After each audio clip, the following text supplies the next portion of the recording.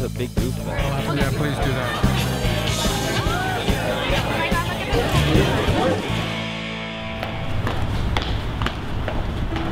I didn't, I didn't work at Atari, but I saw Pong in a bowling alley.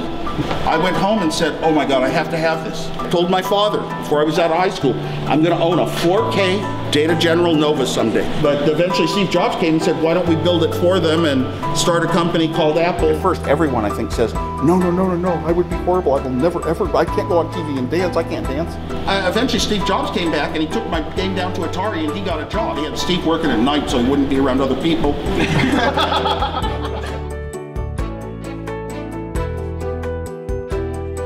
you know, I like knowing little trivia bits. So these, all these people, as we walk through the museum, curators, they know the little tiny bits that really make the stuff interesting, that don't necessarily have to do with its meaning to humans. My new name card, I have a metal name card, and part for my phone number, I actually used the Hollerith card. If you get up here, it's got columns of 0, 1, 2, 3, 4, 5, 6, 7, 8. So it's got numbers, and I actually punch out the numbers on my business card to, to um, you know, it's sort of symbolic of these machines. So glad to be able to represent the, the museum, and I speak as though we did this, we did that. And I'm sort of like an unofficial part of the museum, but um, it's um, all everything since this museum started is so dear to me. It's the best museum in the world, in my opinion, for computers. Yes. So I like all the different gadgets, the ways that they work, ways that seem more human, seem easier for me that I enjoy better. I, I do it by feeling. And if I feel better the way I use one device, an iPad, Yeah. say, then I like that kind of device. If, and right now I love speaking commands to my phone because I don't have to think Yeah. to speak. Um, you know, even if it's, you know, navigate to Joe's Diner or call Janet Mobile. I don't have to memorize all the sets of, of ways to do things. So computers becoming human is very important to me. I saw Pong in a bowling alley. I went home and said, oh my God, I have to have this. And my way was, I, I'm a good designer. I designed my own 28 little $1 chips on a board. I had Pong playing on my TV set at home. Most people were using the Model 19, and I used the Model 26. Nobody else used the Model 26 because it was for a different computer. They used a lot of relays to make decisions inside about yes or no, which switch is on, which is off, which lights are already on. Really, the first hard disk drive under today's type of hard disk mechanisms, they had strange things like the head had to float above all these spinning cylinders. The multiple spinning cylinders were for parallelism. really so popular in the technology world. I think data in a you've small space. bec- went into everyone's home with your participation in Dancing with the Stars. What made you decide to foray into that um, show? so much pressure from very nice producers and from friends saying, you've got to do it, you've got to do it. Finally, I gave in. At first, everyone I think says, no, no, no, no, no, I would be horrible. I will never, ever, I can't go on TV and dance. I can't dance. So everyone says that at first, but they tell you about the show and they tell you they have trainers and you'll be okay. And, and after a while, they, they get through to you.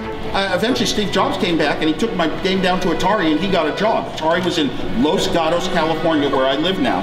Very proud of that. So I used to go in and visit at night. They had Steve working at night so he wouldn't be around other people. it's and bad. It's and bad. It's and bad. And um, then he got us a job. I designed the first Breakout game for Atari. So I didn't really work there. They tried to hire me, but I said, never leave Hewlett Packard. I love my company. I'm loyal. These computers were built right here, so it's an immense amount of effort and work that went into these large machines to have something like a few video screens that could give a little information to, to the um, the opera, computer operators was unbelievably expensive back then, but this was pretty much the most expensive computer in the world. Go in my little room at home, shut the door, nobody knew I did this. No friends, no parents, no teachers, and I would just start to design with chips, the chips that were available in those days. How many chips could I make this computer in? Try to get better and better and better. Just um, uh, competed with myself. The Data General Nova was introduced. The whole computer fit on one board of chips. What is the absolute least I can use and get the same result? This computer was just as fast as the others, half as many chips as all the other mini computers around here. And you know, I discovered the reason, and it influenced my life so much. I told my father before I was out of high school, I'm going to own a 4K Data General Nova someday. Because 4K is enough that I could type my programs in like I used to do with punch cards. And of course, I'd have to buy a teletype, cost as much as a car. And, and I had that poster on my wall in high school and always wanted somehow to bring things home to this scale. Well, what is pushing the state of the art of the silicon industry nowadays? Personal computers and now games. The highest, most powerful chips that are made on Earth are, are made for game machines. So the legacy of the little personal device has come true. My dad said, How are you going to do it? It costs as much as a house. And I said, I was stunned. I didn't realize that was the cost. And I said, I'll live in an apartment. I was going to have a computer someday, this particular computer, and that, that drive hung with me. And we stayed up all night, all day, all night long. We both got the sleeping sickness mononucleosis. Steve Jobs and I both got it doing that project, delivered a working breakout game, and uh, it was one of the, the, highlights of my life. Yeah, what, what you can do with zero money at all, nobody to borrow it from, no savings account. That's the story of the Apple I and the Apple II. Yeah, for about half as many chips, it did 10 times as much as the Apple One. And no computer in the world expected, nobody expected color come to computers.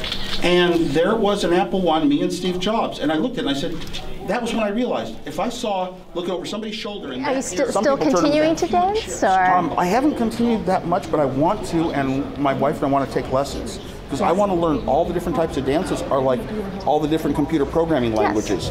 Yes. yes, you learn a certain kinds of steps that are in this dance, but they might not be in another type, and some there's some carryovers, and whether you step with toe leads or heel leads in certain places. Well, thank you for your time, Steve, mm-hmm. and great uh, showing of this museum. Okay, yeah, we call it revolution. Well, it's been so much change in, in one lifetime. And never before in the history of man, I don't think we've gone through so much change in the ways you do every single thing in life and computers just change so fast, you can't keep up anymore. You can just have a few select ones, try a few features out, but um, you can't. You could be a total expert back in the days of the Apple One and Two.